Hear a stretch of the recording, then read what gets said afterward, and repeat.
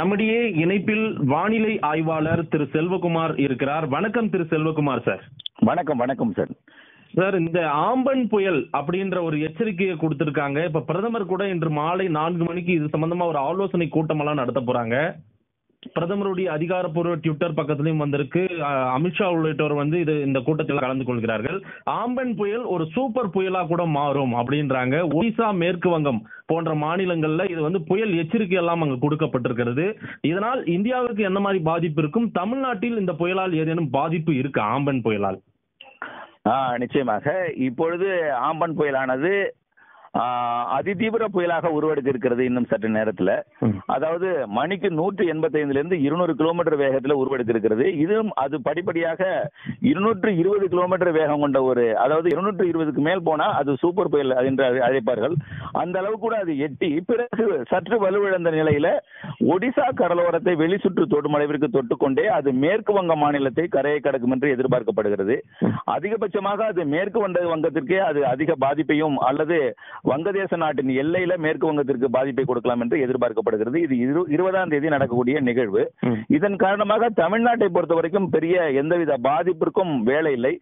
கேரளா மற்றும் கர்நாடக கரையோரம் தென்மேற்கு பருவமழை பெய்வது போல ஒரு மேற்கு காற்றை ஈர்த்து நல்ல மழை கொடுக்கும். தமிழகத்தை பொறுத்த வரைக்கும் அதாவது வெப்ப காற்று தமிழகத்தில் அதாவது ராஜஸ்தான் மற்றும் மத்திய பிரதேசம் மேற்கு பகுதி மற்றும் மகாராஷ்டிரா கர்நாடகா மாநிலத்திலிருந்து வரக்கூடிய அந்த வெப்பமான காற்று தமிழகத்தோட கர்நாடக எல்லையோர மாவட்டங்களில் இன்று மாலை நுழைந்து கேரளாவிலிருந்து வரக்கூடிய அரபிக்கடலோட குளிர்ச்சியான காற்றுடன் இணைந்து தமிழகத்துல இன்று மாலை அதாவது ஒரு நான்கு ஐந்து மணிக்கு மேல் இரவு நள்ளிரவு வரைக்கும் பரவலாகவே சென்னைக்கு கொஞ்சம் லேசாக நனைக்கும் மழையை கொடுத்து விட்டு அதற்கு மேற்கே வேலூர் மற்றும் திருப்பத்தூர் மற்றும் திருவண்ணாமலை வரைக்கும் கள்ளக்குறிச்சி மற்றும் விழுப்புரம் கடலூர் நாகப்பட்டினம் திருவாரூர் தஞ்சாவூர் உள்ளிட்ட அனைத்து மாவட்டங்களுக்கும் குறைந்தபட்சமாக சென்னையிலும் அனைத்து உள் மாவட்டங்களுக்கு பலத்த மழையை கொடுப்பதற்கான வாய்ப்பு இன்று இருக்கிறது.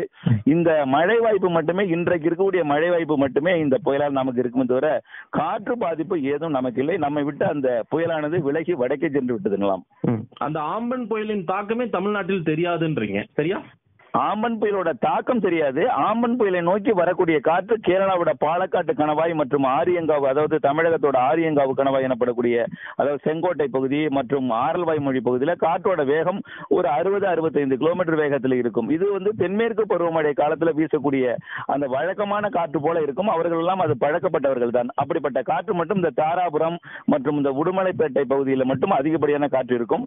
தமிழகத்தை பொறுத்த வரைக்கும் ஒரு மாதிரியான ஒரு காற்று அந்த மழை பெய்யும் பொழுது வெப்பச்சலன மழை காலத்துல வரக்கூடிய ஒரு சூறை காற்று போல மழைக்கு முன் ஒரு காற்று வரும். அந்த மழை பெய்யும் பொழுது அந்த காற்று நின்றுவிடும். பிறகு அந்த மழை பெய்தவுடன் இன்று மாலை இருக்கக்கூடிய ஒரு பத்து பதினைந்து நிமிடம் மட்டும் ஒரு காற்று இருக்கும். இதனால எந்தவித பாதிப்பும் இருக்காது. புயல் ஆபத்து இங்கே இல்லை. புயலுக்கு செல்லக்கூடிய காற்று நம்ம நம் ஊடாக செல்லும். இல்ல அரசு தரப்பு இன்னைக்கு சாயந்தரம் அதை பற்றி ஒரு ஆலோசனை கூட்டம் நடத்துற அளவுக்கு இந்த புயலின் வேகம் அதிகமா இருக்குமா? ஒடிசா மேற்கு வங்கம் அந்த கரையை கடக்கும் போது ஒருவேளை. கண்டிப்பாக கண்டிப்பாக. தமிழகத்திற்கு எந்த பாதிப்பும் இல்லை. அதற்கு நாம் வந்து மழைக்கு கூட பெரிய பாதிப்பு இல்லை. சாதாரண நமக்கு மழை தேவைதான். ஆனால் ஒடிசா கடலோரம் இது தொட்டு கொண்டு செல்லும் என்பதனால ஒடிசா கடலோரத்திற்கு ஒரு அதாவது வ- ஒடிசாவின் வட கடலோரத்திற்கு சற்று பாதிக்கும் காற்று இருக்கிறது. அடுத்தபடியாக வங்கதேச நாடு மற்றும் வங்கதேச நாடு கூட நமக்கு பெரிய பாதிப்பு இருக்காது. நம்முடைய இந்தியாவை பொறுத்த வரைக்கும் மேற்கு வங்க மாநிலம் கொல்கட்டா ஹவுரா போன்ற பகுதிகளுக்கு மிக கடுமையான பாதிப்பை ஏற்படுத்தும். மொத்தம் ஒட்டுமொத்த மேற்கு வங்கத்துக்கு தான் அதிக சேதத்தை ஏற்படுத்தும் என்று தெரிகிறது. கரையை கடக்கும் பொழுது நூற்று எண்பத்தி ஐந்து கிலோமீட்டர் வேகம் கொண்ட இந்த சூறை காற்று தொடர்ந்து மேற்கு வங்கத்தோட வடக்கு பகுதி அதாவது இமயமலையை ஒட்டிய பகுதி வரைக்குமே இது செல்லும் என்பதனால மிக மோசமாக இந்த மேற்கு வங்க மாநிலம் பாதிக்கும் என்று எதிர்பார்க்கப்படுகிறது. கோடை பொறுத்தவரையில நமக்கு திருப்தியை கொடுக்கல. கோடை மழை நமக்கு பெரும்பாலும் பெய்யவே கிடையாது. இப்ப நமக்கு அடுத்து பருவமழை தமிழ்நாட்டில் மழை தொடங்குவதற்கான கால அஞ்சாம் தேதிக்கு பிறகு தொடங்கும் சொல்றாங்க. வர ஜூன் ஐந்துக்கு பிறகு. ஆஹ், இப்ப நமக்கு எப்படி சார்? மழை அளவுக்கான இந்த வருடம் எப்படி இருக்கும்? மழை அளவு அதே போல இந்த புயல் இந்த மாதிரி ஆம்பன் புயல் மாதிரி வேற ஏதேனும் நமக்கு புயல் அடுத்த கட்டமா வருவதற்கான ஏதேனும் அறிகுறிகள் தெரியுதா? என்ன நீங்க இதை பற்றியான ஆய்வுகள் நிறைய பண்ணிட்டே இருக்கீங்க? ஓ கண்டிப்பாக. அதாவது இந்த ஆம்பன் புயல் காரணமாக இன்று தமிழகத்தில் ஒரு பரவலாகவே தென் மாவட்டத்தில் குறைவான மழையும் சென்னையில மிக குறைவான மழையும் பிற மாவட்டங்கள்ல அனைத்து மாவட்டங்களிலும் சற்று பலத்த மழை இன்று மாலை பெய்ய இருக்கிறது. இதற்கு அடுத்தபடியாக நாளை ஒரு லேசான மழை ஒரு சில இடங்களில் பெய்ய இருக்கிறது. இதுக்கு அடுத்தபடியாக இந்த புயல் வரும் இருபதாம் தேதி கரையை கடந்த பிறகு இருபத்தி ஒன்று இருபத்தி ரெண்டு இருபத்தி மூன்றாம் தேதிகளில சென்னையில காற்று வந்து தென் மேற்கு திசையிலிருந்து வந்து சென்னையில கொஞ்சம் வெப்பநிலையை அதிகம் கொடுக்க இருக்கிறது. வர நாட்கள் நாளையிலிருந்தே அதாவது தமிழகத்துல அதிகமாக வெப்பநிலை பதிவாகக்கூடிய மாவட்டம்னு பாத்தீங்கன்னா வெயிலூர் எனப்படும் வேலூர்ல தான் அதிகமாக பதிவாகும். ஆனால் வரக்கூடிய இந்த புயல் காரணமாக தென்மேற்கு திசையிலிருந்து வடகிழக்கு திசை நோக்கி தமிழக வெப்ப காற்றை வரும் இருபத்தி ஒன்று இருபத்தி ரெண்டுல கொண்டு போகும் பொழுது சென்னையில அதிகபட்ச வெப்பநிலையை கொடுக்கும். அந்த நேரத்துல தமிழகத்துல ஒரு குளிர்ச்சியான சீதோஷ நிலை பிற மாவட்டங்களில் குறைந்த வெப்பம் நிலவும். இந்த புயல் கரையை கடந்த பிறகு காற்று வடக்கு நோக்கி செல்வது சற்று வெப்பச்சலன மழையை கொடுப்பதற்கு வாய்ப்பு இருக்கிறது. கரையை கடந்த பிறகு அது செயலிழந்த பிறகு அதாவது இருபத்தி மூன்றுக்கு மேல் இருபத்தி ஏழுக்குள் ஒரு சில இடங்களில் வெப்பச்சலன மழை கொடுக்குது. அது ஒன்றும் ஒரு பெரிய மழையாக எதிர்பார்க்க முடியாது. இருபத்தி ஏழாம் தேதி வாக்கிலே புதிய காற்று சுழற்சி ஒன்று வங்கக்கடலோட தெற்கு பகுதி அதாவது நிலநடுக்கோட்டு இந்திய பெருங்கடல் மற்றும் தெற்கு அந்தமான் பகுதியில் தென்மேற்கு பருவமழையை தொடக்கும் விதமாக இந்த காற்று சுழற்சி அமைந்து குமரிக்கடல் வழியாக அரபிக்கடலை வரும் முப்பத்தி ஒன்றாம் தேதி அடையும் என்று எதிர்பார்க்கப்படுகிறது. இந்த காற்று சுழற்சி தமிழகத்தில் உயரக்கூடிய வெப்பநிலை காரணமாக வரும் இருபத்தி ஏழாம் தேதியிலிருந்து அனைத்து மாவட்டங்களுக்கும் மீண்டும் ஒரு சுற்று வெப்பச்சலன மழை.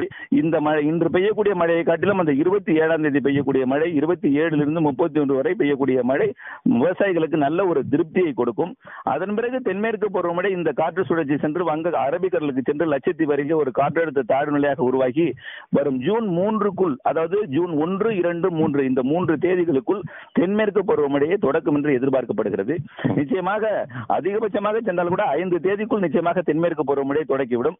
இந்த ஆண்டு தென்மேற்கு தென்மேற்கு பருவமழையை பொறுத்து கடல் வெப்பநிலை வைத்து தான் தென்மேற்கு பருவமழை அமைகிறது. வங்கக்கடலோட வெப்பநிலை நேற்றெல்லாம் முப்பத்தி ரெண்டு டிகிரி இருந்தது. இந்த புயல் வந்து ஒரு வெப்பநிலை ஒரு இரண்டு டிகிரி குறைத்தாலும் மீண்டும் வரக்கூடிய காலங்கள் எல்லாம் வெப்பமான காலம் தான். அதாவது ஜூன் இருபத்தி ஒன்னாம் தேதி வடக்கே இருக்கக்கூடிய கடகரேகை நோக்கி சூரியன் குத்துக்கத்திட்டு பயணிக்கிற காரணத்தினாலே வங்கக்கடல் மேலும் உயர இருக்கிறது வெப்பநிலை உயர இருக்கிற காரணத்தினாலே தென்மேற்கு பருவமழை இந்த ஆண்டு வங்கக்கடலோட வெப்பநிலை காரணமாக ஒடிசா கரையோரமாக உருவாகக்கூடிய அடுத்தடுத்த தாழ்வு நிலைகள் காரணமாக நிச்சயமாக கேரளா வழியாக ஈர்க்கக்கூடிய அந்த கா- தென்மேற்கு காற்றை அணைகள் அனைத்தும் விரைவில் அதாவது இப்பொழுதே கிட்டத்தட்ட நிரம்பும் தருவாயில இருக்கு நிரம்பி இருக்கிறது.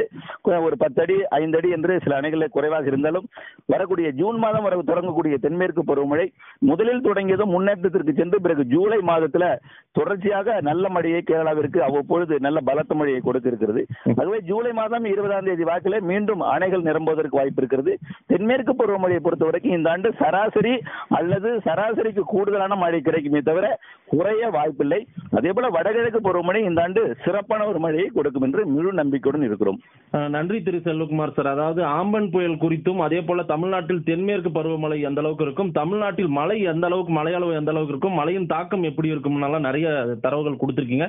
மக்கள்கிட்ட கொண்டு போய் கொடுப்போம். நன்றி திரு செல்வகுமார் சார். இணைப்பில் வந்து சொல்லுங்க நமக்கு நன்றி. நன்றி நன்றி நன்றி நன்றி நன்றி.